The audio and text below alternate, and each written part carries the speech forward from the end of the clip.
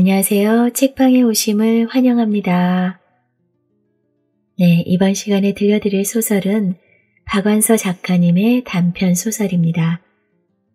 박완서 작가님이 남편과 사별 후 64세가 되던 1995년에 쓴 마른 꽃이라는 작품인데요. 이 내용은 1997년 드라마로도 방영된 적이 있었다고 하네요. 환갑을 눈앞에 둔 여자의 연애 감정을 통해 재혼이나 주위 사람들에게 미치는 영향과 그에 따르는 책임은 어떤 게 있는지를 그렸다고 합니다. 실버 로맨스 어떤 이야기가 담겨져 있을지 박안서 작가님의 마른 꽃 지금부터 읽어드리겠습니다. 살며시 눈 감으시고요. 책방 주인 목소리에 귀 기울여 주세요.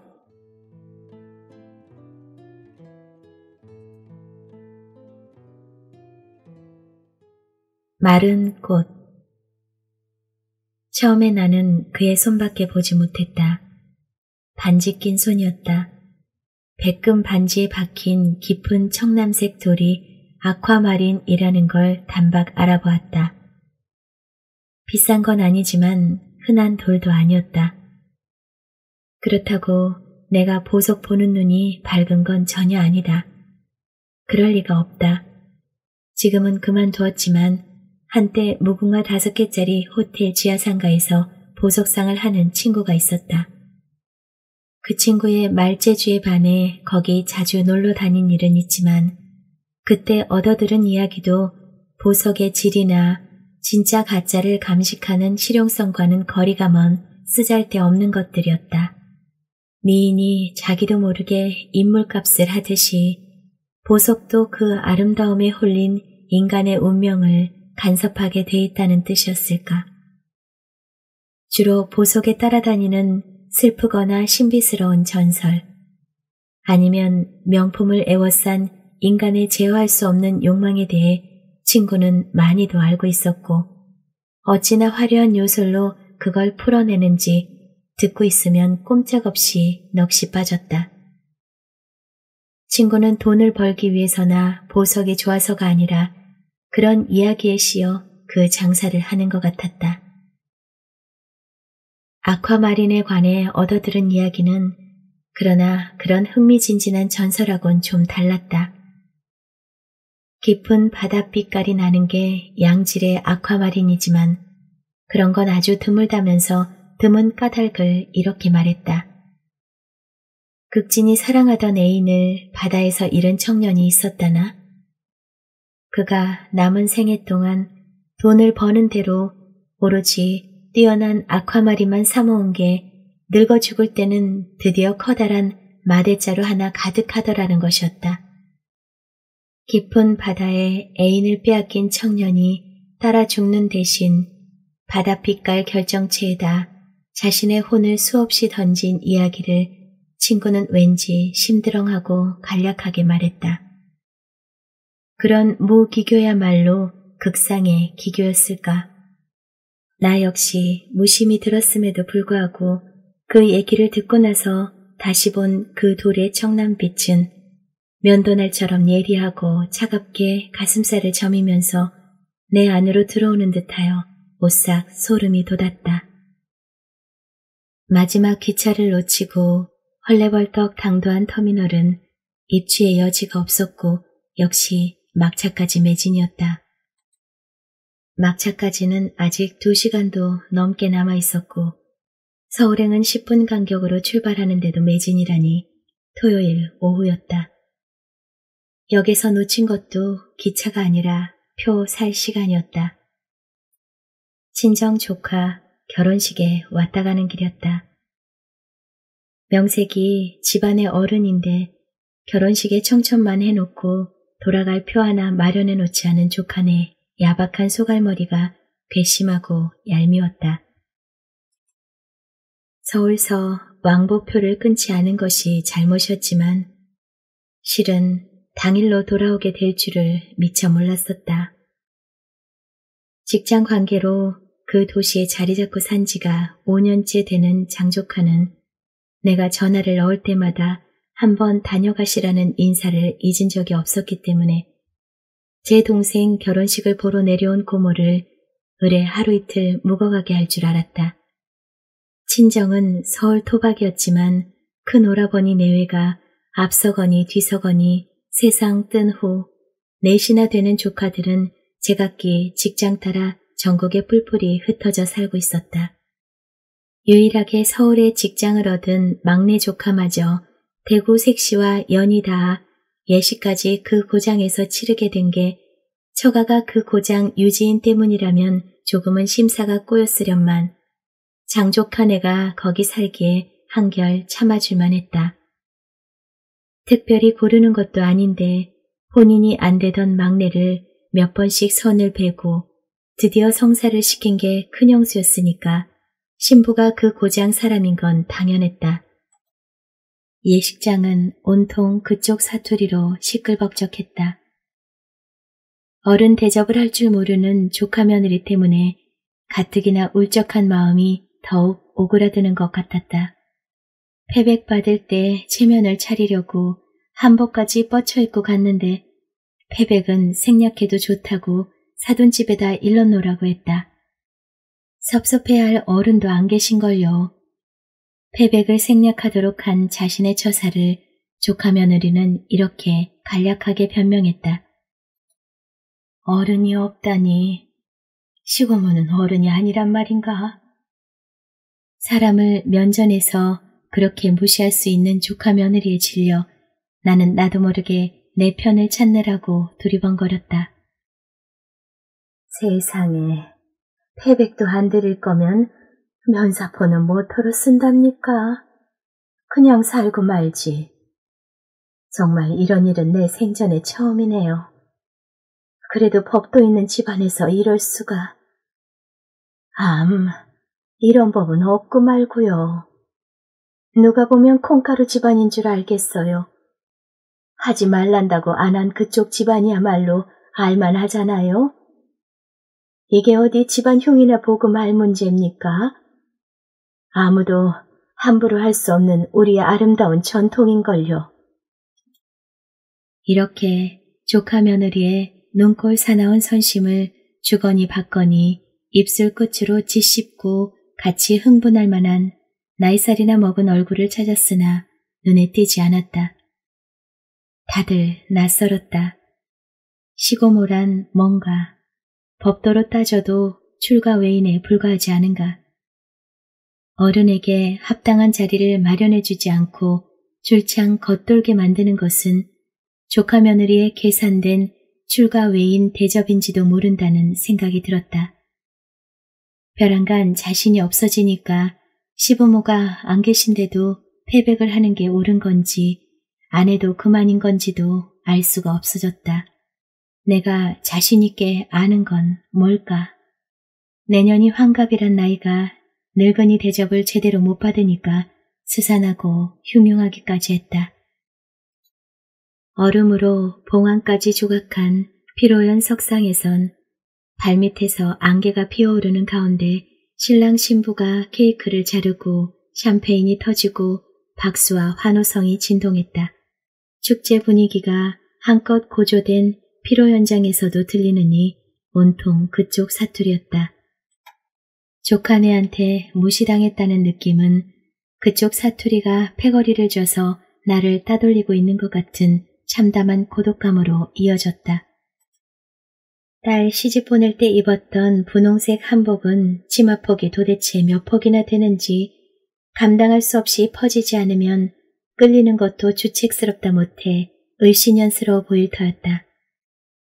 중요한 손님도 아니면서 남들이 한 번 볼 거 두 번 볼 요란한 옷을 입고 있다는 게 얼마나 못할 노릇인지 벌을 서듯이 시시각각 의식하느라 음식은 맛도 모르고 건성으로 먹고 있었다. 참, 고모님은 몇 시 표를 끊으셨어요? 내 옆에서 나는 무시한 채 제 자식 걷어먹이기만 바쁘던 둘째 조카 며느리가 초롱초롱한 눈으로 나를 빤히 바라보며 물었다. 그러나 나는 그녀가 나에게 보인 최초의 관심을 이해하지 못했다. 표? 무슨 표? 올라가실 표 말이에요. 어머, 예매도 안 하고 내려오셨나 봐. 오늘 토요일인데. 나는 대답 대신 아직도 손님 사이를 누비며 인사치레하기에 바쁜 장조카 며느리를 눈으로 찾았다. 그러나 나보다 훨씬 잽싸게 큰 동서를 찾아낸 둘째는 큰일 난 것처럼 호들갑을 떨며 올라갈 걱정도 안 하고 바보처럼 느릿느릿 답답한 동작으로 비프 스테이크를 썰고 있는 내 걱정을 했다. 아직은 늦지 않았을 거야. 지금부터라도 서두르면. 장조카 며느리가 시계를 보며 말했다. 그제서야 그날로 돌아가야 한다는 것을 인정했다. 대접성으로라도 자고 가랄 줄 알았던 기대가 무너진 게 그렇게 서운할 수가 없었다. 하마터면 눈물이 다 핑 돌 것 같아 대강 썰어놓은 고기 조각을 꾸역꾸역 쳐넣었다. 천천히 잡수셔요. 아직은 시간이 좀 있으니까요. 그렇지도 않아. 여기서 역까지 가는 시간이 있잖아. 저희가 가는 길에 모셔다 드릴게요. 형님 도와드리지 못해 죄송하지만 저희가 조금 일찍 떠나죠 뭐. 그래 줄래? 잘 생각했어. 남아있어도 할 일도 없어. 고모님 모셔다 드리는 게 크게 도와주는 거야. 그럼 부탁할게. 나를 옆에 놓고 장조카 며느리와 울산 사는 둘째네가 주고받은 말이었다. 울산서는 아마 제 차로 온 모양이었다. 좀 낡은 엑셀이었다. 신랑 신부만 빼고 조카들이 안식구 하고 쌍쌍이 차 타는 데까지 배웅을 해주었다. 조카 며느리는 남매를 데리고 뒤에 앉고 나는 운전석 옆에 앉아 조카 얼굴을 곰곰이 쳐다보았다. 뭘 그렇게 보셔요? 내가 너희 아버지를 제일 많이 닮은 것 같아서. 어려선 외탁했단 소리 들은 것 같은데요. 아니야, 야. 나는 아무런 확신도 없이 강하게 부인을 했다. 황석이 본 지 오래돼요. 이번에 고모님 뵈시고 내려올 줄 알았는데 마침 해외 출장 중이잖니. 걔 저도 직장이 있고. 자긴 언제 해외 출장 갈 거야? 뒷자리에서 방자하도록 영롱한 목소리가 끼어들었다. 왜? 독수 공방하고 싶어? 나도 이런 행사에 슬쩍슬쩍 빠져보고 싶어서. 야, 친형제하고 사촌하고 갔냐? 말을 해도. 말은 그렇게 하면서도 조카의 입가에는 귀여워서 못 견디겠다는 미소가 맴돌았다. 다를 건 또 뭐야? 예단도 못 받았다는데. 형님이 예단 생략하라고 했다나 봐. 나 시집 올 때는 길을 쓰고 챙기더니만. 자기, 나 좀 봐봐. 어디 미운 털 박혔나? 됐네, 됐어, 여보게. 내 눈에만 미운 털 안 박혔으면 그만이지. 무슨 상관이야. 역까지 주위들끼리 이렇게 찍고 까부느라 더는 나한테 끼어들 새를 주지 않았다. 대구역에서 주차장이 만 원이라고 휙휙 호루라기를 불며 진입을 막는 것을 기화로 그들은 나를 짐짝처럼 내려놓기만 하고 가버렸다. 부창 부수에서 얼씨고 하는 소리가 들리는 듯했다. 나도 마찬가지였다. 표를 살 수 있을까 없을까 하는 걱정보다는 우선 그 눈꼴 사나운 수작에서 노연한 것만 해도 시원해서 살 것 같았다. 형국이 형석이 내외는 내 앞에서 저러지는 않는다고 내 자식들 두둔하고 싶은 기분도 나쁘지 않았다. 새마을호는 매진이고 남아있는 무궁화호도 입석표 뿐이었다. 나는 만약 바닥에 퍼져버리고 앉으면 능히 대여섯 명은 흙고물 하나 안 묻히고 앉을 수 있을 것 같은 여섯 폭 비단 치마를 거머쥐고 고속버스 터미널 쪽으로 씩씩하게 다름질 쳤다. 다행히 고속터미널은 기차역에서 그닥 멀지 않았다. 그러나 버스표까지 매진된 걸 보자 더는 씩씩할 수가 없었다. 빽빽이 들어선 사람들, 매캐한 공기, 온통 그쪽 사투리끼리로만 어우러진 이해할 수 없는 아우성. 그런 것들보다 더 참을 수 없는 것은 나의 분홍 한복이었다. 그 터무니없이 현란한 옷으로부터 노연하기 위해서라도 나는 오늘 안으로 내 집에 가야만 했다. 내가 얼마나 낙담하고 있는지 내 얼굴에 씌어 있었나 보다. 누가 혼자냐고 물었다. 나는 고개만 끄덕거렸다. 그러면 매표구 앞에 헛되게 서 있을 것이 아니라 승차장에서 기다려보라고 했다. 혼자 몸이면 예매를 해놓고 미처 시간을 못 댄 승객의 자리를 출발 직전에 얻어타기가 수월하다는 것이었다. 사람이 아주 죽으라는 법은 없다더니 이 아비규환 속에서도 그런 방법이 있었구나. 나는 이 낯선 고장에서 그런 귀한 정보를 준 이에게 고맙다는 인사도 하는 둥 마는 둥 승차장으로 뛰어나갔다. 그러나 약은 사람이 나 혼자일 리가 없었다. 혹시 생길지도 모르는 빈자리를 얻어타려는 사람이 따로 긴 줄을 이루고 있었다. 눈치 보거나 서로 다투면서 운 좋게 얻어타려는 게 아니라 순서껏 타게 되어 있어서 그나마 다행이었다. 초조한 마음에 10분 간격이 더디기는 해도 버스가 떠날 때마다 대기줄에서도 한두 사람씩 얻어타는 사람이 생겼다. 그런데도 오늘 안으로 이 바닥을 뜰 수 있으리라는 가망은 점점 더 희박해지고 있었다. 표도 못 끊고 기다리는 사람보다는 예매를 해놓고 버스 시간에 못 대온 승객에게 우선권을 주었기 때문이다. 너무도 갸냘프고 기약 없는 기다림에 진득하니 붙어 있을 만한 참을성이 나에겐 없었다. 그놈의 비단 치마 저고리 때문에 더욱 그러했다. 예전 비단은 몸에 따숩게 감겼는데 요새 비단은 어떻게 된 게 계절도 없이 얇기만 한 게 미풍에도 부풀어 오르려고만 들었다. 더군다나 승차장은 한 대였다. 가을해가 설핏해지면서 기온이 떨어지는 걸 살갗으로 느낄 수가 있었다. 나는 내 뒤에 줄선 아가씨에게 화장실이 급한 몸짓을 하면서 자리 좀 봐달라고 부탁을 했다. 대합실 안으로 들어가 봐야 무슨 수가 생겨도 생길 것 같았다. 회사 측도 양심이 있다면 토요일 오후인데 상행버스를 몇 대 늘릴 수도 있다고 생각했다. 나하고 비슷한 사람들끼리 목소리를 합쳐 회사 측에다 그렇게 하도록 촉구할 수도 있을 것 같았다.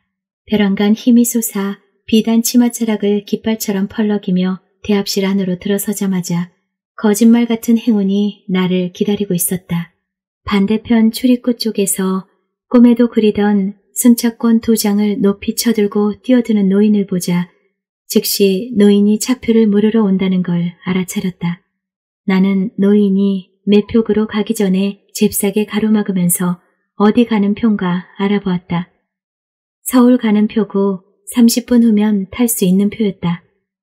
할아버지, 그 표 저한테 파셔요. 얼마면 되죠? 산대 가서 물러도 제 값은 준다던데. 지갑 먼저 열면서 말하는 내 표정이 얼마나 영악해 보였던지 좀 더 얹어드려도 된다는 뜻으로 말한 거였는데 노인은 제 값도 못 받을까봐 경계하는 투로 표를 움켜주었다. 제 값을 드리기로 하니까 이번에는 두 장을 다 사야만 팔겠다고 했다. 한 장은 팔고 나머지 한 장은 매표구에서 물러야 하는 게 귀찮은 눈치였다. 다 사는 건 어려울 게 없었다. 불필요한 한 장은 내가 물러도 되니까. 그러나 미처 그런 의사표시를 할 새도 없이 저하고 한 장씩 나누시죠. 하면서 나타난 손이 있었다. 아쿠아마린 반지를 낀 바로 그 손이었다. 그의 얼굴까지는 미처 보지 못했다. 그럴 겨를이 없었지만 궁금할 것도 없었다. 한 장의 고속버스표를 확실하게 손에 넣은 감격이 행운을 보장받은 복권을 거머쥔 것만 지나 뿌듯하고 가슴 울렁거렸다. 나는 그 기분을 좀 더 느긋하게 즐기기 위해 자판기에서 커피를 한 잔 뽑았다. 남은 30분은 그러기에 모자라지도 넘치지도 않는 동안이었다. 대합실에서도 앉을 자리를 얻는다는 것은 어림도 없었다. 그러나 구석진 벽에 기대어 따뜻한 커피를 마시는 기분은 그만이었다. 대합실 벽에 무심히 기댄 포즈를 취하기엔 영 안 어울리는 옷차림을 하고 있다는 것도 그닥 신경이 써지지 않았다. 커피 맛이 유별나게 혀에 감겼다. 나는 커피가 아니라 슬그머니 내 안에 미끄러져 들어와 있는 아쿠아마린의 추억을 음미하고 있었는지도 몰랐다. 5분 전쯤에 버스에 올라탔다. 창가에 앉았다. 그는 출발 직전에 올라탔다. 나는 그를 쳐다보지 않았다. 그가 카키색 트렌치 코트를 벗어서 실렁에 얹으려는 찰나 살짝 뒤집힌 옷자락에서 런던 포구 상표가 드러났다. 세련된 느낌이 나쁘지 않았다. 혼자 기차나 고속버스를 탔을 때 가장 고독스러운 것은 옆에서 쉴 새 없이 우유나 빵, 귤 따위를 먹으면서 부득부득 먹으라고 권하는 건데 적어도 그럴 염려는 없을 것 같았다. 그러나 그때까지도 내 의식 속에서 아쿠아마린 반지와 런던 포구는 따로따로 놀고 있었다. 차창 밖에선 어둠이 안개빛깔에서 엷은 먹물빛깔로 바뀌고 있었다. 버스는 대구의 안개를 뒤로 하고 마침내 고속도로로 진입했다. 그가 신문을 펼치다가 내 어깨를 살짝 스쳤다. 미안합니다. 정중하고도 싹싹한 말씨였다. 나는 그를 바로 보지 않고 괜찮다는 표시로 고개만 까딱했다. 바로 보지는 않았지만 신문을 펴든 손의 반지는 선명하게 눈에 들어왔다. 뼈대가 실하고도 든든한 남자 손에 잘 어울리는 단순하고 중후한 세팅이 마음에 들었다. 남의 옷차림이나 장신구에 대한 관심과 야릇한 설렘은 스스로도 좀 뜻밖이어서 그쯤 해두고 싶었다. 의자를 뒤로 젖히고 눈을 감았다. 달짝지근한 옅은 잠이 오락가락했다. 하루의 먼 거리를 왕복하느라 상당히 지쳐 있었음에도 불구하고 그는 누구일까 하는 호기심이 내 의식의 한 가닥을 계속 잠들지 못하게 하고 있었다. 짐짓 깊은 잠에서 깨어난 것처럼 벌떡 상반신을 일으키면서 창밖을 내다보려고 했지만 김이 서린 유리창은 간유리처럼 불투명했다. 겉은 자락으로 그걸 닦아내려 하자 그가 옆에서 휴지를 한 뭉텅이 건네주었다. 고맙다는 인사 대신 또 고개만 까딱하고는 휴지를 받아 유리를 닦아냈다. 허허 벌판을 달리고 있었다. 연도에서는 서울까지의 거리가 500m 단위로 나타났다 사라지곤 했지만 그보다는 몇 시간이 남았나가 더 알고 싶었다. 토요일 오후였다. 거리를 시간으로 환산하는 일은 무의미할 터였다. 곧 금강 휴게소일 겁니다. 그가 말을 걸었다. 아, 네. 나는 짤막하게 알아들었다는 표시만 했다. 금강 휴게소에선 20분간 정차한다고 했다. 그가 내린 후 나는 약간 더 지체하다가 내렸다. 화장실은 더럽지는 않았지만 질척했다. 용물을 보는 동안도 밖에서는 물 뿌리는 소리가 났다. 청소한답시고 타일 바닥을 한강수로 만들어 놓고 있었다. 한복 치맛자락 건사하기가 너무 버거워 짜증이 났다. 밖으로 나와 내가 내린 버스를 찾으려는데 저만치 가로등 밑에서 차를 마시던 그가 나를 보고 미소 지었다. 마음에 스며들 듯한 웃음이어서 얼핏 시선을 비켰다. 그렇게 서 있는 그는 전체적으로 꽤 괜찮은 영화의 라스트 씬처럼 인상적이었다. 청색 남방 셔츠 위에다 포도주색 브이넥 스웨터를 걸치고 녹두색 모직 머플러를 가슴 언저리에서 아무렇게나 묶은 옷차림은 신세대 가수라고 해도 손색이 없을 만큼 야한데도 그의 은빛 머리하고 잘 어울렸다. 나는 얼른 속곡 가랑이가 무릎까지 드러나게 거머쥐고 있던 치마를 내리고 뾰로통한 얼굴로 버스 쪽으로 종종 걸음을 쳤다. 맨 땅에서도 물 건너는 신용을 하고 있었다는 게 창피하고 화가 났다. 버스 안에서도 밖의 그를 계속해서 지켜보았다. 멋쟁일 뿐 아니라 체중 관리도 잘한 것 같았다. 배도 안 나오고 다리도 길고 걸음걸이는 여유 있고도 늠름했다. 나는 선반 위에 얌전히 개켜진 채로 있는 그의 트렌치 코트를 쳐다보았다. 같은 상표는 아니지만 나도 꽤 괜찮은 바바리 코트를 가지고 있었다. 그놈의 패백만 아니었으면 나도 그걸 입고 왔을지도 모른다. 그랬으면 지금보다 적어도 10년은 젊어 보였을 것이다. 나도 모르게 그와 함께 바바리 자락에 찬바람을 묻히고 그럴듯한 바에 들어가 양주를 한 잔씩 하는 상상을 하고 있었다. 내가 이렇게 이상해지는 것은 암만 해도 아쿠아마린과 상관이 있을 터였다. 아니면 꼭 그랬으면 싶은 바를 알고 있기 때문인지도 몰랐다. 호텔 지하상가에 있는 친구네 보석상에 별 볼 일 없이 자주 드나들 때는 물론 지금보다 훨씬 젊었을 때였다. 그러나 아주 젊지는 않았었다. 아이들하고 지지고 볶으랴, 남편 뒷바라지 하랴, 좋은 줄도 모르고 허위단심 넘어온 젊은 날을 돌이켜보며 어느 만큼은 대견해하고 어느 만큼은 허무해하던 때였으니 마흔은 훨씬 넘어서였을 것이다. 허무해하기 시작하면 꽤 괜찮게 자란 아이들도 실력을 인정받는 간부사원이 된 남편도 시들해졌고 시들해지기 시작하면 손끝 발끝이 저리도록 기운이 빠졌다.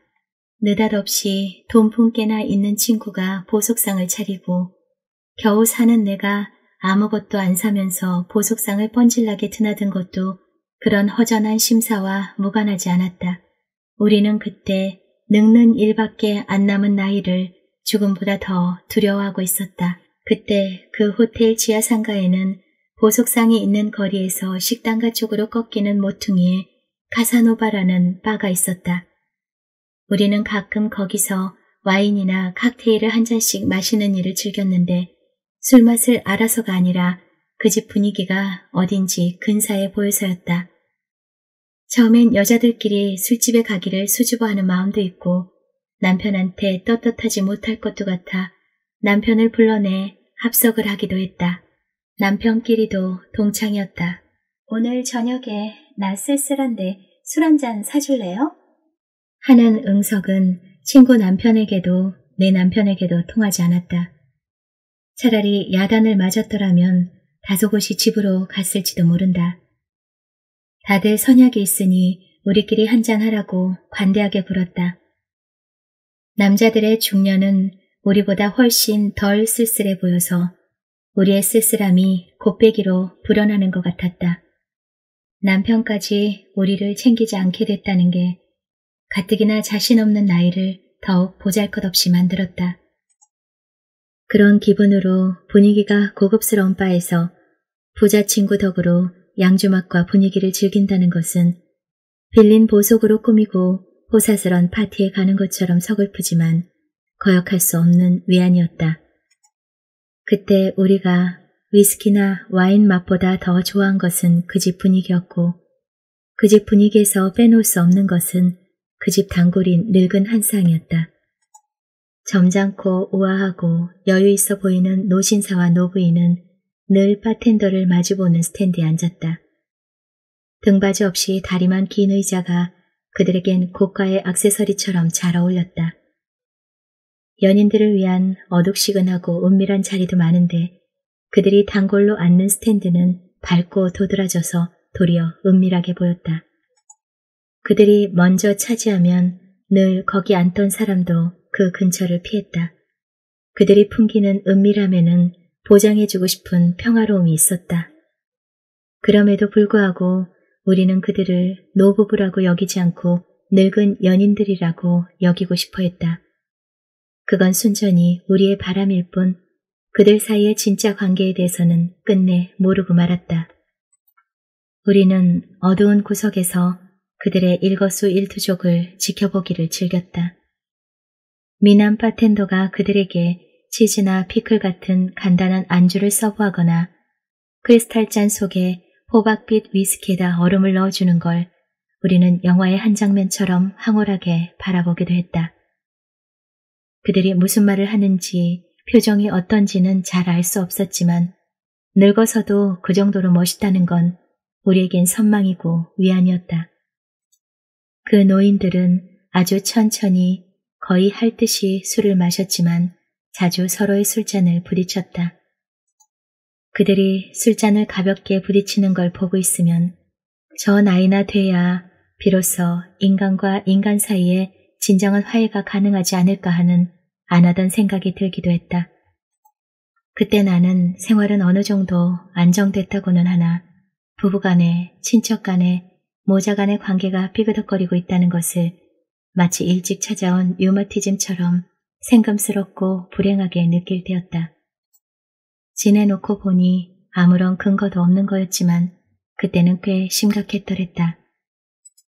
친구도 왜 사는지 모르겠다는 소리를 자주 했다. 나는 깊은 한숨으로 공감을 나타냈다. 그 노인들을 우리가 극도로 미화해 바라보는 것도 우리의 이런 험한 감, 미국에 닥칠 노치의 공포를 달래기 위한 한 방법이었을 것이다. 친구네 보석상이 망함으로써 그 시절은 졸지에 막을 내렸다. 막은 원래 서서히 아쉽게 내리게 돼 있지만 부자가 망하는 것은 믿지 않을 만큼 순식간이었다. 친구의 남편이 부도를 내고 해외로 도피하고 혼자 남은 친구는 빚잔치로 보석상을 빼앗기고 알거지 신용을 내다가 어느 날 나한테까지 온다 간다 말없이 남편 따라 이민을 떠나버렸다. 나는 허둥지둥 내 생활로 돌아와서 내가 정신을 딴 데다 팔고 있는 동안도 내 가정이 건재하고 있다는 걸 감지덕지 고마워하며 예전과 다름없는 살림꾼이 되었다. 그 호텔에 드나들지 않게 된 지가 몇 년쯤 됐을까. 아득한 옛날 같기도 하고 바로 엊그제 같기도 했다. 카사노바는 아직도 거기 남아있을까? 카사노바도 늙은 연인들도 세월과 함께 사라졌다 해도 환상은 남아있는 것. 나는 그와 함께 어느 고급스럽고도 이국적인 술집에서 아름다운 크리스탈 잔을 부딪히기를 꿈꾸고 있었다. 옛날의 추억 때문에 마치 오랫동안 그러기를 꿈꿔왔으나 다만 파트너가 없어서 못해본 것처럼 느끼고 있었다. 그가 나에게 종이컵을 건네주었다. 율무차였다. 비로소 그를 가까이서 쳐다보면서 고맙다는 인사를 했다. 수려한 골상에 군살이 붙지 않아 강직해 보였고 눈빛은 따뜻했다. 가슴이 소리내어 울렁거렸다. 이 나이에 이런 느낌을 가질 수 있다는 걸 누가 믿을까? 금강 휴게소를 지나면서부터 버스가 조금씩 더 밀리기 시작했다. 기사는 승객의 양해를 구하는 절차 같은 건 생략하고 제 멋대로 고속도로를 벗어났기 때문에 서울이 몇 킬로 남았다는 표지판도 사라졌다. 국도인지 기사만 아는 어떤 지름길인지 버스는 줄창 어둠 속을 달리다가도 작은 읍이나 면 소재지인 듯 상점에 불빛이 있는 곳을 지나가기도 했다. 그럴 때마다 나는 거기가 어디라는 단서를 얻으려고 창밖을 살펴보려 들었고 그는 나에게 유리창을 닦을 휴지를 건네주었다. 시골의 상점 거리도 서울 미장원, 명동 양복점, 독일 빵집, 의정부 석거찌개, 영재 독서실 따위 간판을 달고 있으니 현재의 위치를 미루어 짐작하기는 불가능했다. 벌판이나 외진 산길만 가다가 어쩌다 나타난 그런 상점거리도 반갑기보다는 비현실적이었다. 앞으로 가고 있는 게 아니라 마냥 헤매고 있는 것처럼 느낀 지 오랜만에 벌써 서울인가 싶게 번화한 도시로 접어들었다. 차들의 번호판으로 대전이라는 걸 알아보았고 10시 가까운 시간이었다. 대전이네요. 그래도 이 버스가 서울로 가긴 가고 있나 봐요. 이번엔 내가 먼저 수작을 걸었다. 그럼 딴 데로 가고 있는 줄 아셨나요? 고속도로를 벗어나니까 괜히 불안했어요. 밤새도록 가도 아무데도 당도하지 못하는 게 아닌가 싶지 뭐예요. 아무데도 당도하지 못하는 버스라 재미있어요. 제 상상력보다 시적이고. 선생님은 무슨 생각을 하셨는데요? 저는 이 버스에 아주 중요한 사명을 띤 인물이나 거액을 가진 이가 타고 있어서 죄 없는 사람까지 어디론지 납치를 당하고 있을지도 모른다는 생각을 해봤답니다. 만약 저 기사가 우리가 하는 얘기를 들으면 별 고약한 승객도 다 있다 하겠죠? 자기 딴엔 조금이라도 일찍 가보려고 낯선 길을 헤매는데 깨어 있다는 게 고약한 거 아니겠어요? 보셔요. 다들 얼마나 곤이들 자고 있나. 저 사람들처럼 기사가 어련히 목적지까지 데려다 주랴 믿고 잠들었으면 그런 실없는 생각을 했을 리가 없죠. 그의 말을 듣고 보니 정말 다들 곤히 잠들어 있고 깨어있는 승객은 우리 두 사람밖에 없었다. 나는 왠지 그게 짜릿할 만큼 즐거웠다. 댁이 서울이십니까? 대구십니까? 그가 물었다. 친정 조카가 대구에서 결혼식을 올려서 다녀가는 길이랍니다. 그래서 그렇게 곱게 차려입으셨군요. 네, 태백도 받고 이것저것 어른된 도리를 하려면 해도 한복이 편할 것 같아서요. 패백도 못 받았단 소리는 일부러 안 했다. 그래도 버스 여행하기에는 주책스러워 보일 게 분명한 한복에 대해 변명을 할 수가 있어서 속이 다 시원했다. 대전을 지나고부터 버스는 본격적으로 밀려 자정이 훨씬 넘어서야 서울에 도착했다. 승객들은 그동안 계속 잘도 잤고 우리 두 사람은 계속 깨어서 계속 젊은 애들처럼 굴었다. 6.25 때 몇 살이었고 얼마나 고생했고 어디로 피난 갔었나 따위 진부한 얘기는 하나도 안 하고 흘러간 영화, 좋아하는 배우나 음악, 맛 좋고 분위기 좋은 음식점, 세상 돌아가는 얘기 따위를 두서없이 주고받으면서 나는 내가 얼마나 수다스럽고 명랑하고 박식하고 재기가 넘치는 사람인가를 처음 알았고 만족감을 느꼈다. 그렇다고 모든 문제에 의견이 일치했던 건 아니다. 우리는 유신 시대나 군사정권 시대를 살아내기가 얼마나 치욕스러웠던가에 대해서는 정열적으로 동의했지만 그가 식구처럼 아낀다는 진돗개 얘기를 하자 나는 마치 개소리만 들어도 알레르기를 일으키는 사람처럼 요란스럽게 질색을 했다. 그 모든 짓거리들이 그렇게 재미있을 수가 없었다. 여북해야 자정이 넘었는데도 벌써 서울인가 싶었을까. 시내 버스가 드문드문 다니고 있었고 지하철은 이미 끊긴 시간이었다. 고속버스에서 내린 승객은 거의 택시 승강장에 줄을 섰다. 밤 공기가 냉랭했다. 그가 코트를 벗어 내 어깨에 걸쳐주었다. 나는 마다하지 않고 순순히 그 안에서 몸을 작게 웅숭그렸다. 나이 같은 건 잊은 지 오랬다. 댁이 어디시죠? 그가 물었다. 고덕 쪽이라고 대답했다. 이럴 수가. 우리는 같은 동네에 살고 있었다. 아무렇지도 않은 동네였다. 그러나 그가 살고 있는데 어떻게 아무렇지도 않을 수가 있을까? 가슴이 소녀처럼 발랑발랑 뛰었다. 아직도 동네 외곽에 많이 남아있는 아름다운 숲과 꽤 괜찮은 산책로가 반사적으로 떠올랐다. 우리는 자연스럽게 같은 택시를 탔다.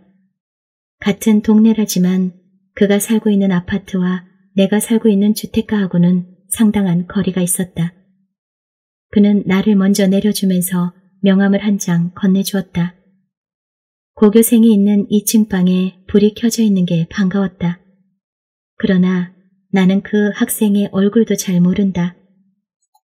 싹싹해 보여서 세금이나 공과금 등 은행의 관리를 스스럼 없이 부탁해온 2층 집 여자가 우리 전기값을 자기네와 비교하면서 고3이 있어서 라고 중얼거리는 소리를 몇 번인가 들은 적이 있을 뿐이다. 우리 집은 처음부터 새를 놓아먹도록 지은 3층 집이었다. 집주인인 나는 3층에 살았고 다른 층이 두 가구씩 살도록 설계된 것과는 달리 3층만은 한 가구만 쓰게 돼 있어서 30평이 넘는 넓이었다. 혼자 살기엔 휘한 집이었지만 온종일 비어있던 집에 한밤중에 문을 따고 들어오는 일이 조금도 의심연스럽지 않고 감미롭게 느껴졌다. 비록 혼자 살고 있지만 거실엔 14식구나 되는 대가족의 사진이 걸려 있었다. 큰아들이 미국 지사로 나가기 전에 기념으로 찍은 사진은 대문짝 반절 크기였다. 우리 부부와 각각 네 식구씩인 두 아들과 딸내가 함께 찍은 사진이었다. 14 식구 중 남편이 먼저 이 세상 사람이 아니게 됐지만 비슷한 시기에 손자가 하나 더 생겨 내가 계산하고 있는 식구는 여전히 14이었다. 새로 생긴 손자는 미국서 나와서 나는 아직 본 적이 없다. 큰아들은 전화값 안 아까워하고 일주일에 한 번씩은 꼭 전화를 하고 어떤 때는 어린 것 옹알이 하는 소리를 들려주려고 꽤 오래 통화를 끌기도 한다. 멀지 않은 곳에 살고 있는 딸과 분당에 살고 있는 아들도 매일 한 번도 안 거르고 꼬박꼬박 무난 전화를 한다. 내 집은 그렇게 전화선으로 내 핏줄들과 긴밀히 그리고 규칙적으로 연결돼 있어 내가 살아내는데 힘이 돼주고 있다. 현관불은 현관문을 열면 켜지게 돼 있다. 다시 저절로 꺼지기 전에 얼른 마룻불을 켜고 버릇처럼 가족 사진한테 눈인사를 건넨다. 벗어놓았던 옷처럼 익숙하고도 눅눅한 내 집 공기를 들이마시면서 그의 명함을 들여다보았다. 아무런 직함 없이 이름 석자하고 집과 사무실 전화번호만 들어있는 간결한 명함이었다. 내가 그에 대해 뭘 안다고 나는 그게 그답다고 여겨져 더욱 호감이 간다. 뭐 하는 사무실인지는 그닥 궁금하지 않다. 며칠 사이에 가을이 깊어지면서 3층에서 바라보이는 숲의 단풍도 바야흐로 절정이다. 설악산 쪽은 이미 한물 같다고 한다. 그가 잘생긴 진돗개를 데리고 산책하는 시간은 하루 중 어느 때쯤일까? 아파트에서 몰래 기르기엔 너무 덩치가 커서 단독에 사는 둘째 아들네하고 번갈아 데리고 있다고 하면서 좋은 법이고 나쁜 법이고 그 나이까지 법을 어기는 짓은 못 해봤는데 그 녀석 때문에 위법행위 하느라 이웃 아주머니들한테 길을 못 풀고 산다고도 했다. 그는 살만하고 선량한 사람일 것이다. 그만하면 알아야 할 것은 다 알고 있는 셈이다. 그가 준 명함은 전화기 옆에 얌전히 놓여 있다. 그에게 우리 집 전화번호를 가르쳐 준 적이 없건만 전화벨이 울릴 때 그를 생각하며 받을 적이 종종 있다. 전화는 의당 번호를 알고 있는 쪽에서 걸어야 하건만 나는 그러지 못한다. 걸까 말까 망설인 적도 없다. 그가 우리 집을 알고 있다는 건 왠지 그를 또 만났으면 하는 바람에 전혀 도움이 되지 않는다. 그가 우리 집을 불쑥 찾아온다는 것은 그의 신사다움과 너무도 안 어울리기 때문이다. 천생 내 쪽에서 뭔가 하지 않으면 안 된다. 그럴 기회는 의외로 빨리 찾아왔다. 사돈상을 당했다. 혼자 남아 고향을 지키고 살던 둘째 며느리의 친정어머니가 돌아가셔서 식구들이 아이들까지 다 내려가면서 나한테 손자들이 기르던 조망만한 개를 맡기고 떠났다. 푸들이라던가 어찌나 조망만한지 꼭 손안에 드는 봉제 왕구 같았다. 꼼지락 거릴 때마다 제 힘으로 움직이는 게 아니라 털 속에 숨은 태엽이 풀리고 있는 것처럼 느껴지곤 했다. 동물 같지도 않은 느낌 때문에 싫어하고 말고도 없이 떠맡게 되었고 맡기는 쪽에서도 뭘 먹는지 어디서 싸는지 어떻게 돌봐야 하는지 한마디도 일러주지 않고 덮어놓고 대밀기만 하고 떠났다. 졸지에 당한 일이라 황망하여 그리 되었을 것이다. 행여나 해서 화장실 문을 열어놓았더니 그 안에서 용물을 보는 게 신기하고 깜찍했다. 그러나 누기만 하고 통 먹지를 않았다. 우유도 죽도 카스텔라도 냄새도 안 맡고 도망부터 쳤다. 그대로 내버려 두었다가는 굶겨 죽였단 소리 들을 것 같았다. 혼자 이 방법 저 방법 다 써보다가 안 돼서 2층 고3 엄마한테 의논을 했더니 아마 여지껏 길들여진 사료가 따로 있을 거라고 했다. 내일 시내 나갈 일이 있으니 그런 것만 전문적으로 취급하는 집에 들러서 의논해 보고 한두 가지 사와 보겠노라고 한 날 저녁이었다. 나는 허설수로 한데 모은 음식 찌꺼기에다가 국국물을 부은 것을 고 녀석 입에다 갖다 대보았다. 또 고개를 외로 꼴 줄 알았는데 앙칼지게 달려들더니 붉은 혀를 맹렬하게 날름대며 국물부터 핥기 시작했다. 그래, 만물의 영장도 배고픈 서름에 무릎을 꿇게 돼 있는데 니까지 게 찬밥 더운 밥 가려 밭대짜에 요거사. 알았지? 하면서 회심의 미소를 때려는데 벼랑간 째지는 소리로 캥캥대며 죽을 똥 살똥 몸부림을 치는 게 아닌가. 어째서 그런 일이 일어났는지 차근차근 생각해 볼 겨를도 없이 당장 숨 넘어가는 꼴을 볼 것만 같아 더럭 겁부터 났다. 아들 내외 볼 낯도 없지만 그 강아지한테 영락없이 엄마처럼 굴던 손녀의 모습이 아른거리니까 더 미칠 것 같았다. 그때 도움을 청하고 싶은 사람으로 제일 먼저 떠오른 게 그였다. 나는 떨리는 손으로 그의 전화번호를 돌렸고 그의 목소리가 들리자 울음이 복받쳐 말을 제대로 할 수가 없었다. 그래도 알아듣고 차까지 가지고 집각 달려와 주었기 때문에 가까운 수의사한테까지 가는 동안이 얼마 걸리지 않았다. 달려와 준 그를 보자 나는 다시 울음이 복받쳤다. 왜 그렇게 눈물이 잘 나는지 나도 이해할 수가 없었다. 그는 한 손으로 운전대를 잡고 한 손으로는 내 어깨를 토닥거리며 위로를 했다. 수의사의 처치를 받는 동안 강아지는 더욱 애처로운 소리를 냈고 나는 숫째 그의 품에 안겨서 귀를 막고 흐느꼈다. 내가 생각해도 요사스럽게 짝이 없는 짓거리였지만 나는 그 감미로운 울음을 멈출 수가 없었다. 수의사는 강아지 목구멍에서 집어낸 생선가시를 보여주면서 개 아픈데 같이 우는 아이는 많이 봤어도 같이 우는 할머니는 처음 봤다고 했다. 강아지는 무사했고 며칠 안 돼 제 집으로 돌아갔고 나는 물론 하나도 안 섭섭했다. 나는 강아지를 사랑한 적이 없으니까. 그러나 그 강아지가 집에 있는 동안 강아지 안부를 주고받는 것으로 시작된 그와 나의 전화질은 강아지를 보낸 후에는 차 한잔 하자는 만남으로 발전했다. 그를 만나기 위해 아침 산책을 나가기도 했고 첫눈이 오는 날은 마침내 카사노바하고 비슷하게 분위기가 고급스러운 바에서 괜히 잔을 부딪히며 위스키를 마시기도 했다. 그때는 내가 샀고 다음엔 그가 답내로 토속적인 목로 술집에서 막걸리를 샀다. 서양식 술집 못지않게 근사한 집이었다.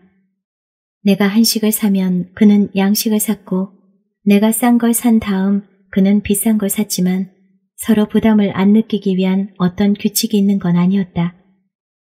정해진 건 아무것도 없었다. 그때그때 마음 내키는 대로 행동했다. 그의 잘생긴 진돗개하고도 낯을 익혔고 그의 차에다 진돗개를 태우고 드라이브를 가기도 했다. 서울 근교에 그렇게 좋은 곳이 많다는 걸 처음 안 것처럼 느꼈다. 강아지를 핑계로 눈물을 흘릴 수도 있을 만큼 간사스러워진 후였다. 곳곳이 새로워 함부로 탄성을 지르지를 않나 16살 먹은 계집애처럼 깡총거리지를 않나. 요즘 신세대 탤런트의 연기를 톡톡 튄다고들 하는데 내 안에서도 뭔가가 핑퐁알처럼 경박하고 예민한 탄력을 지니게 되었다는 걸 느꼈다. 뿐만 아니라 연기를 하고 있다는 혐의가 아주 없는 것도 아니었다. 내가 자신 속에서 느끼는 경박한 즐거움은 유희의 기쁨 같은 것이었으니까. 어차피 현실감이 있는 건 아니었다. 뭐든지 꿈꾸는 대로 이루어지는 건 꿈속과 다를 바 없었다. 여북해야 이런 일까지 있었겠는가.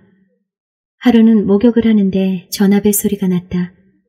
전화는 마루에 하나, 안방에 하나 두 대였지만 아직 무선 전화기는 가지고 있지 않았다.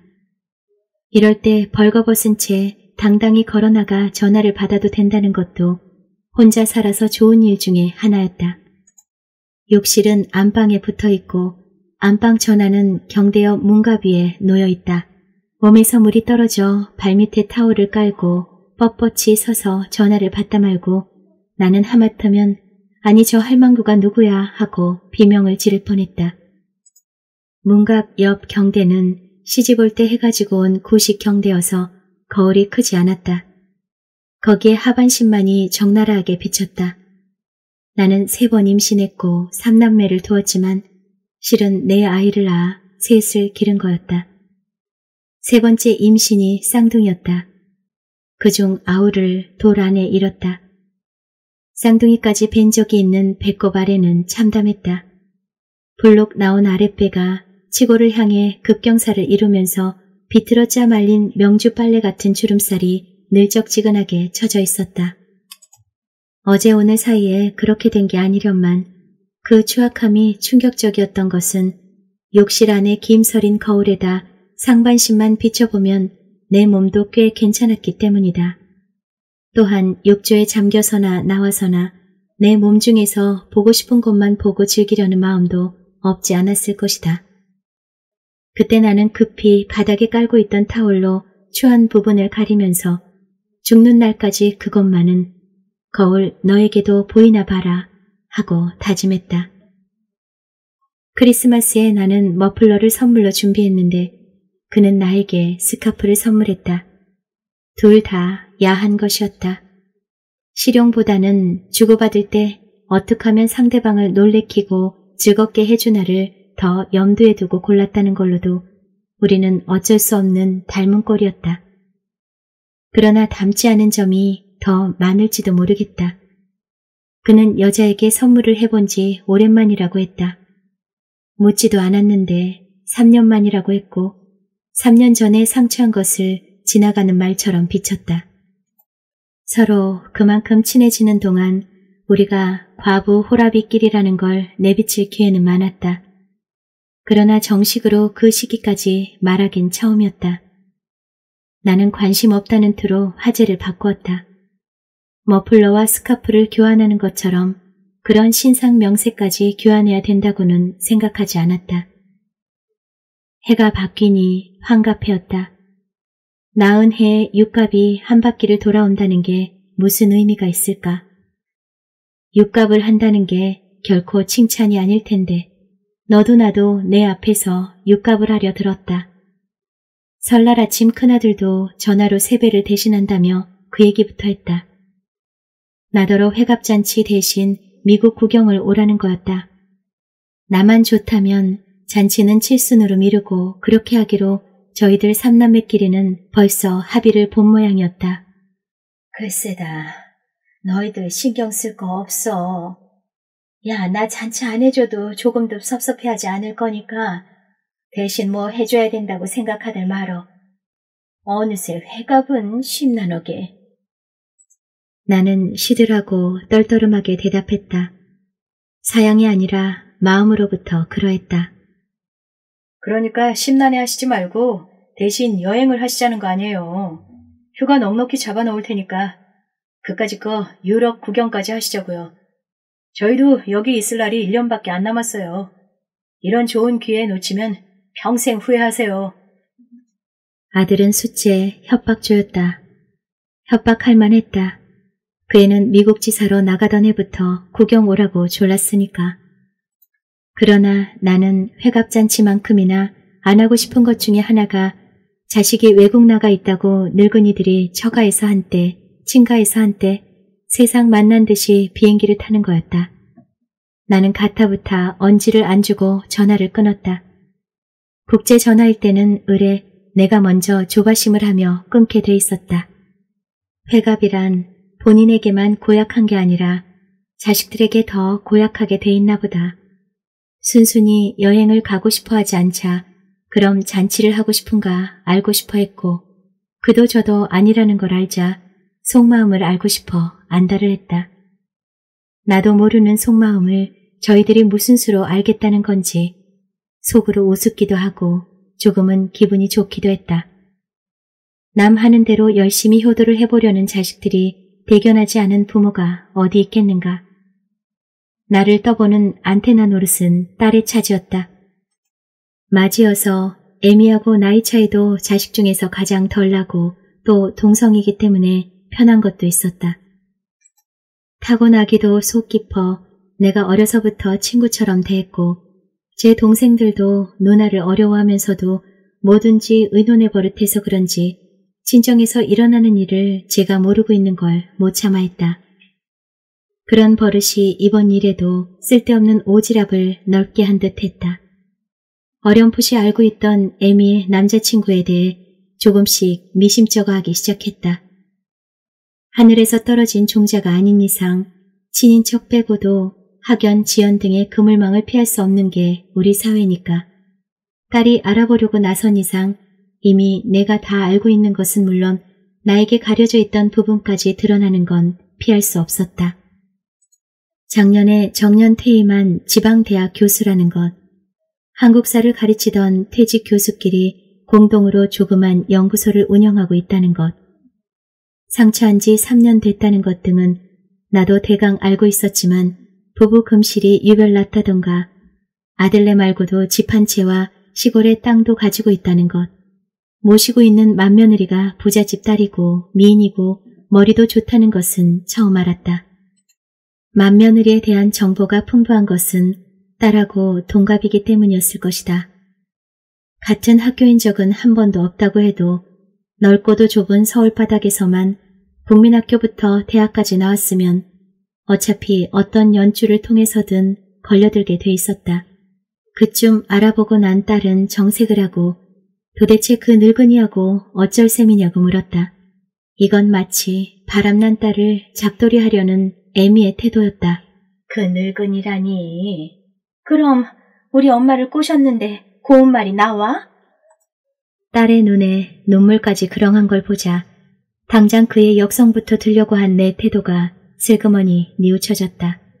실상 그하고 나 사이는 자식들한테 발각이 됐다고 해서 달라질 어떤 건더기가 있는 사이가 아니지 않은가. 오시긴 누가 누굴 꼬셔. 누구 들을라. 숭하다. 형국이 형석이는 아직 몰라요? 알면 또 어떠냐? 엄만, 알아서 좋을 건 또 뭐유? 더 늙으면 구박받고 무시당할 빈민아 될 텐데. 네가 입 다물고 있으면 걔들이 어떻게 하냐? 알았어요. 전 입 봉하고 있을 테니까 엄마나 조심하세요. 자식들 체면이라는 것도 있지 않소. 딸에는 또 가짱깨 실이 바람난 딸에게 아버지한테 이르지 않을 테니 정신 차리라고 쉬쉬 당조지만은 애미 신용을 내는 것이었다. 그러나 딸의 간섭은 그것으로 끝난 게 아니었다. 우리 사이가 더 조심을 하고 말고 할 것도 없었고 종전과 달라지려는 노력도 하지 않았기 때문이기도 했지만 그보다는 아마 그의 집안에서 딸한테로 직접 정보가 흘러나왔기 때문일 것이다. 그의 며느리는 딸하고 단짝이던 고등학교 친구하고 대학 동창이 되었다. 게다가 그쪽 며느리와 내 딸은 같은 단지에 살고 있었다. 한번 연주를 트자 마치 겹사돈처럼 알려고만 들면 모르는 게 없을 정도로 서로 비밀의 무방비 상태가 되고 말았다. 중간 역할을 하고 있는 양쪽을 다 안다는 딸의 친구에 의해 정보가 다소 굴절되거나 과장됐을 가능성이 있다고 해도 속속 드러난 그쪽의 조건은 잔뜩 저기를 곤두세우고 있는 딸의 구미에도 나쁘지 않았던 것 같다. 실실 웃으며 엄마 실력 다시 봐줘야겠다는 무엄한 농담을 하기까지 이르렀다. 그리고 어느 날 아주 정색을 하고 물었다. 엄마, 조 박사님 사랑해? 그때 나는 커피를 마시고 있었는데 하마터면 될 뻔했다. 복소가 치받쳐 사례가 들리면서 들고 있던 잔까지 엎질러 버렸기 때문이다. 그 늙은이가 조 박사님으로 변한 것도 우스웠고 그가 그렇게 부르는 걸 별로 좋아하지 않는다는 걸 알고 있기 때문이기도 했다. 언젠가 우연히 만난 중년의 제자하고 정답게 인사를 나누고 나서였다. 옛날 제자들은 선생님 하면서 아는 척을 해서 좋은데 요새 제자들은 교수님 아니면 박사님이라고 불러서 도무지 정이 안 든다고 했다. 그는 그렇게 좀 괴팍한 데가 있었다. 뭐가 그렇게 우스워요?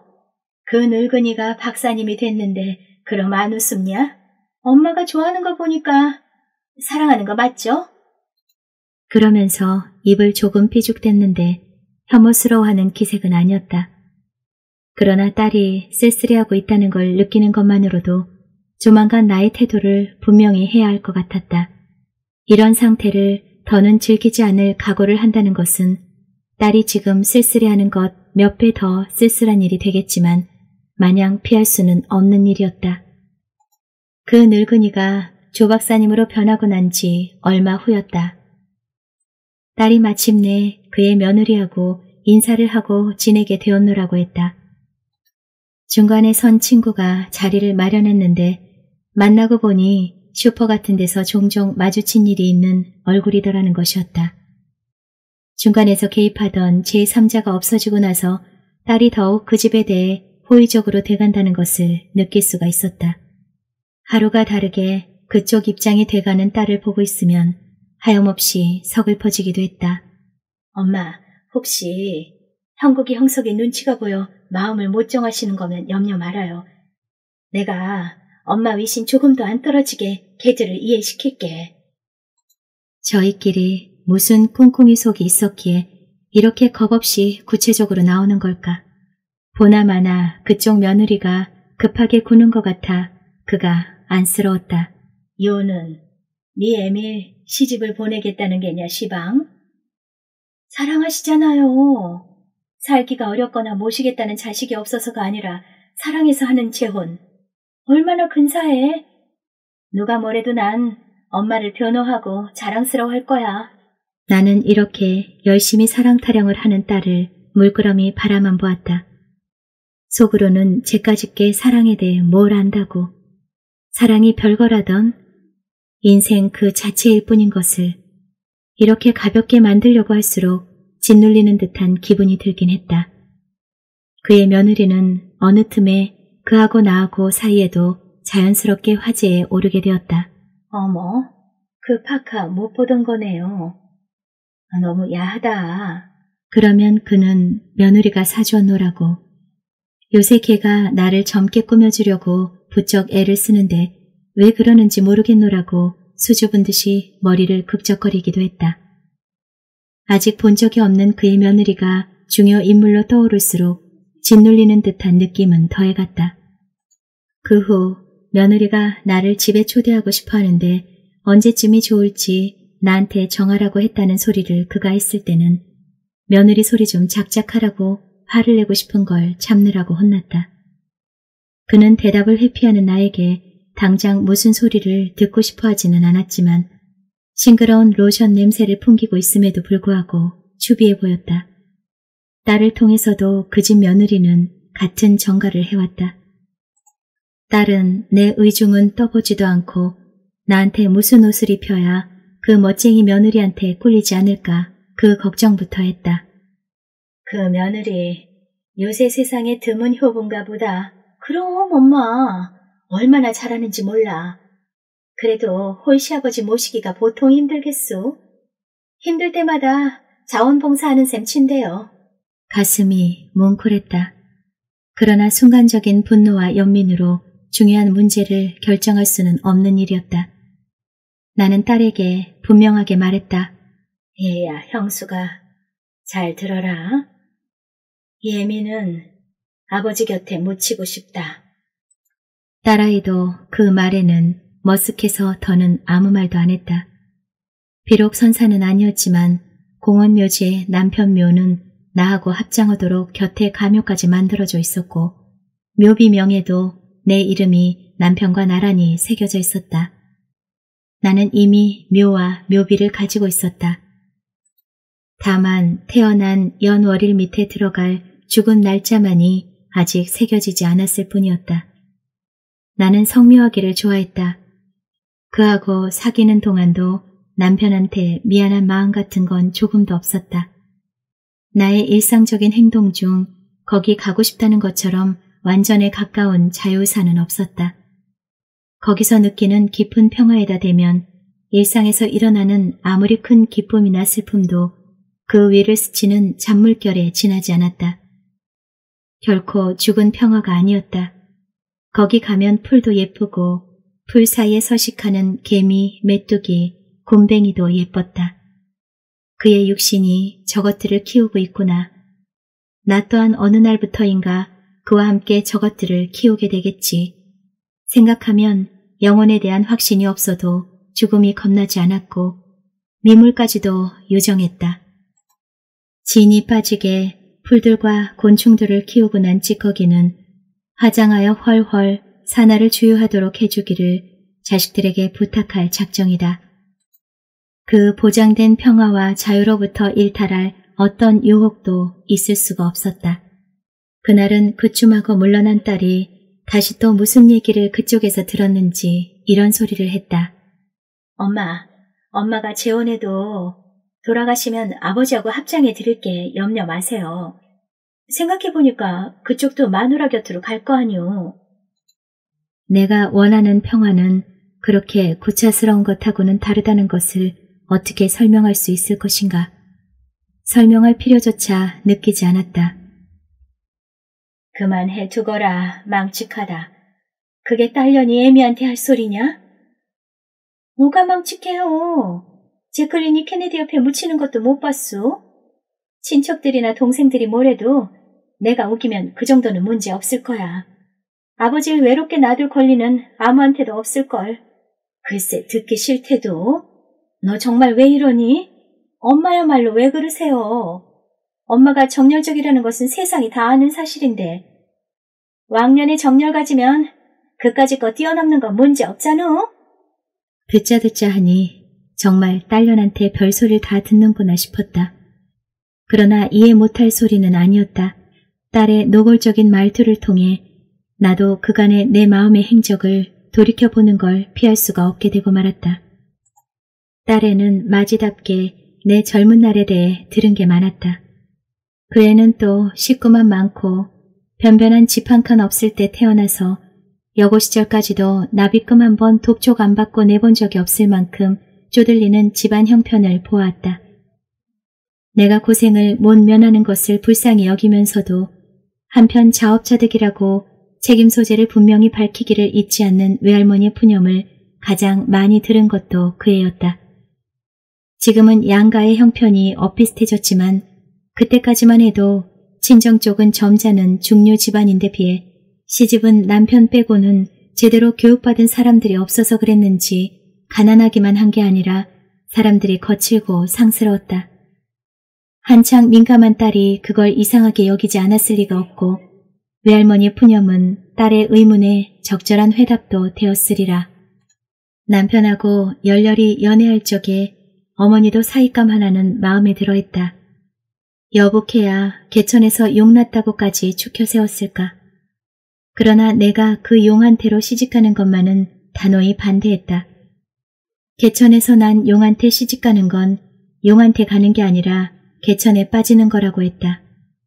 어머니가 아무리 울고불고 말려도 나한테는 개천이 보이지 않고 용만 보였다. 어머니의 예언은 적중했고 나의 개천과의 악전 고투는 막내 신우이를 시집 보낼 때까지 계속됐다. 남들에게는 개천으로 보이는 것이 나한테는 사는 보람이요 씩씩할 수 있는 원천이었다. 그 시절 내 눈을 가리고 오로지 한 남자만 보이게 한 그 맹목의 힘을 딸은 지금 정열이라 부르고 있는 것 같았다. 정열이라 해도 좋고 정욕이라 해도 좋았다. 지금 조 박사를 좋아하는 마음에는 그게 없었다. 연애 감정은 젊었을 때와 조금도 다르지 않은데 정욕이 비어 있었다. 정서로 충족되는 연애는 겉멋에 불과했다. 나는 그와 그럴듯한 겉멋을 부려본 데 지나지 않았나 보다. 정욕이 눈을 가리지 않으니까 너무도 빤히 모든 것이 보였다. 아무리 멋쟁이라고 해도 어쩔 수 없이 닥칠 늙음의 속성들이 그렇게 투명하게 보일 수가 없었다. 내복을 갈아입을 때마다 드러날 기름기 없이 처진 속살과 거기서 우수수 떨굴 비둠, 태산 준령을 넘는 것처럼 버겁고 자지러지는 코곰, 아무데나 함부로 터는 담뱃재, 카 기를 쓰듯이 목을 빼고 끌어올린 진한 가래, 일부러 엉덩이를 들고 끼는 줄방기, 제 아무리 거드름을 피워대봤자 위액 냄새만 나는 트림, 제 입밖에 모르는 개걸스러운 식욕, 의처증과 건망증이 범벅이 된 끝없는 잔소리, 백살도 넘어 살 것 같은 인색함, 그런 것들이 너무도 빤히 보였다. 그런 것들을 아무렇지도 않게 견딘다는 것은 사랑만 있다고 되는 것은 아니다. 적어도 같이 아이를 만들고 낳고 기르는 그 짐승스러운 시간을 같이 한 사이가 아니면 안 되리라. 겉멋에 비해 정욕이 얼마나 아름다운 것인지 이제야 알 것 같았다. 제거할 여지는 조금도 없었다. 불가능을 꿈꿀 나이는 더군다나 아니었다. 딸이 안 해도 될 군소리를 덧붙였다. 엄마가 이 청원 받아들이지 않으면 조 박사님 불쌍해서 어떡하지? 아, 며느리가 글쎄 더는 수발될 수 없대. 이왕이면 시아버지가 좋아하는 사람하고 시켜드리고 싶지만 안 되면 아무나 하고 시킬 모양이야. 밥 걱정, 노후 걱정 안 하려고 시집 오려는 사람은 얼마든지 있대. 그렇지만 너무 젊은 여자는 며느리가 싫은가 봐. 당장 지내기 거북한 거 말고도 나중에 책임질 기간이 길까 봐 그렇겠지 뭐. 기껏 어디서 배고픈 할머니나 한번 모셔올 모양이야. 엄만 사랑하던 사람이 그렇게 불쌍해져도 좋아? 친구한테 농담하듯이 버릇없는 말투였다. 나는 발끈했다. 배고픈 게 왜 나빠? 무시하지 마 너. 자원봉사보다 훨씬 거룩한 거다 그거. 겉멋보다는 더욱 거룩할 터였다. 나는 한 번도 본 적 없는 그의 며느리를 딸의 얼굴과 겹쳐보면서 속 시원히 내뱉었다. 더는 며느리나 딸이 우리 사이에 끼어들게 하고 싶지 않았다. 그를 마지막으로 만난 날, 곧 미국 갈 수속 중인데 될 수 있으면 오래 머물 거란 얘기를 하고 나서 그의 반지 낀 손 위에다 내 손을 정성스럽게 포개면서 한 번 과부된 것도 억울한데 두 번씩 과부될지도 모르는 일은 저지르고 싶지 않다고 말했다. 완곡하게 말한다는 게 심하게 들리진 않았을까. 눈치를 살폈지만 아무것도 읽어낼 수 없었다.